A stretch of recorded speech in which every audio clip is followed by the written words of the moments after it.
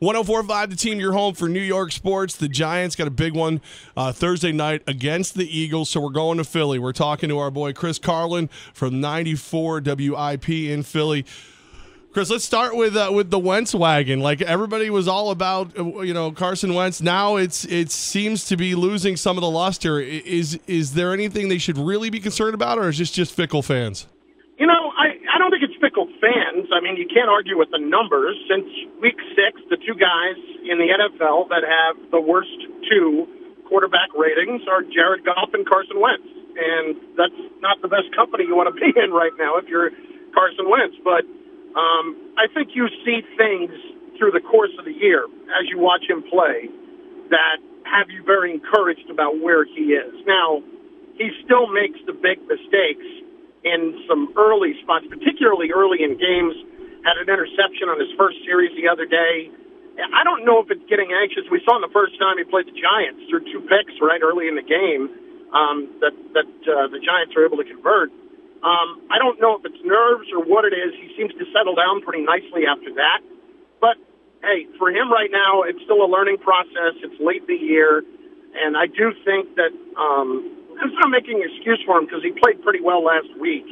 I do think you get toward the end of that rookie year, especially when you're a quarterback, it's kind of more mentally exhausting than anything else. I think he's, you know, if you had a quiet moment with him, he's probably looking forward to the season being over, uh, just so he can kind of uh, refuel. But um, I think there's no reason at the moment to jump off the Wentz wagon, so to speak. The Eagles are five and nine now. If they beat the Giants and win the Week 17 matchup as well, they would have the same record they had last season. Is this season going to be deemed a success because they now could have a future franchise quarterback in Carson Wentz? I don't know if they're going to deem it a success. I, I think the fans are not going to deem it a success. The pro- worst thing that could have happened, to be quite honest, is to start three and zero. And when that when that happened, everybody's expectations jumped off the page, and you understand why. Uh, but they, quite frankly, just do not have anywhere near the playmakers on offense they need to have, and they they don't have any right now. To be quite honest, Zach Ertz maybe, but he's not a guy that's going to go break six tackles and uh, you know after he makes a catch.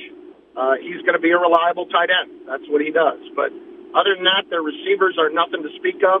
Um, you know, Wendell Smallwood, who had looked really good in some flashes, he's done for the year. Ryan Mathews has run it a little bit okay, but I still get the impression they don't trust him late in the games to be able to hold on to the ball. I think when you factor in all that stuff, um, you, you understand that it's a year where you were going to take some lumps, but I wouldn't call it a year where they look at it as a success just because they found the quarterback. I think that is the biggest thing to take out of the year, but the wins and losses just weren't there, especially after you start 3 and 0. 1045 the team, Levack and Goz talking to Chris Carlin from 94 WIP in Philly. So, Chris, I look at this team, and when you say a lack of playmakers, I, I still kind of blame Chip Kelly. Like, is that the prevailing wisdom, and how long does it take to dig out of the hole he dug? He is the chip that keeps on chipping, so to speak. There's no doubt. Uh, you know, there's no because you look around the league, and the guys that Chip wanted to get rid of are still out there making big plays. LeSean McCoy, uh, you know, DeSean Jackson, who it's heavily rumored is going to come back next season. Um, guys like that, that he did everything he could to, to shovel away on the team. That absolutely still sticks in their minds, and they still uh, blame Chip Kelly for a lot of that. And it's amazing that, you know, when you look at the last few years, 10 and 6, 10 and 6, 7 and 9, you would think, oh, that's not that terrible.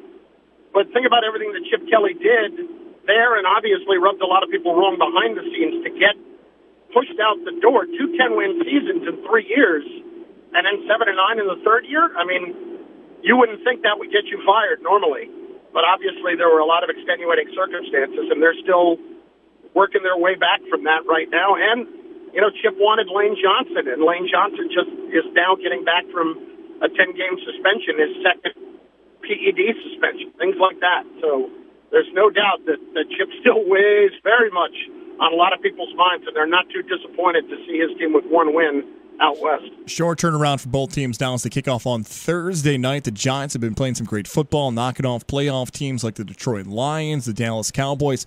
Do the Eagles pose any chance for an upset? And if so, what's their biggest matchup that can pose that upset possibility?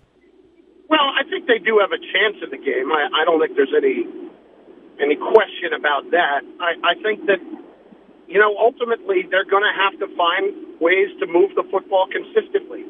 Um, I give them a lot of credit for Sunday in that they ran the football very well against the number one rush defense in the league. And frankly, I think they weren't expecting to run the ball that well. I think they were kind of surprised by it. You know, Carson Wentz had a play where he wasn't getting rid of the football soon enough, and he kind of coughed it up on the near sideline, and it went out of bounds. But, you know, after that, they were mysteriously running the football a whole lot more and uh, you know they were very effective.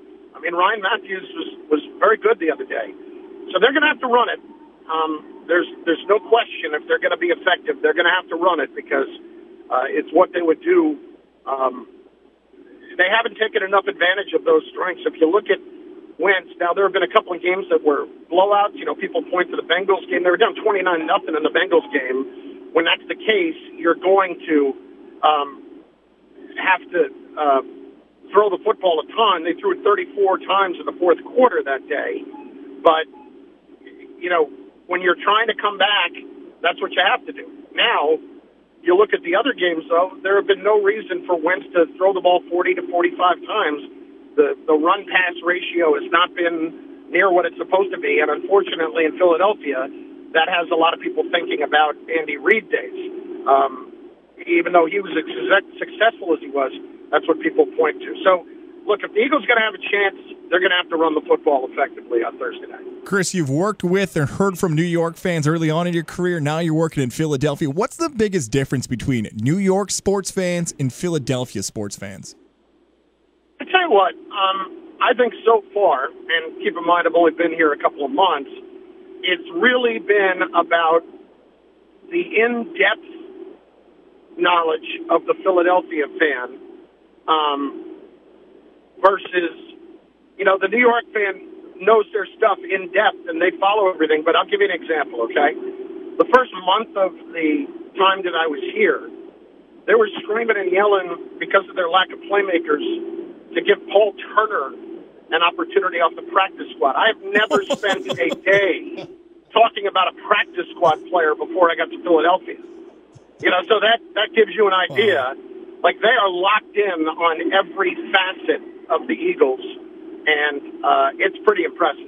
It really is pretty impressive. It's got to make it difficult for you, Chris. Like you know that these guys are so dialed in that you're going to hear a name you've never heard before, and you got to get ready for on, on the fly.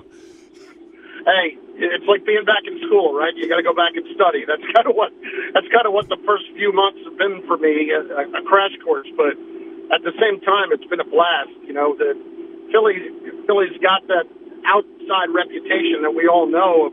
You know, really, really tough fans. But I got to be honest, they have been tremendous to me so far, and I've really enjoyed it. And you know, I, I think that that rep is off of a couple of isolated incidents and we all know this.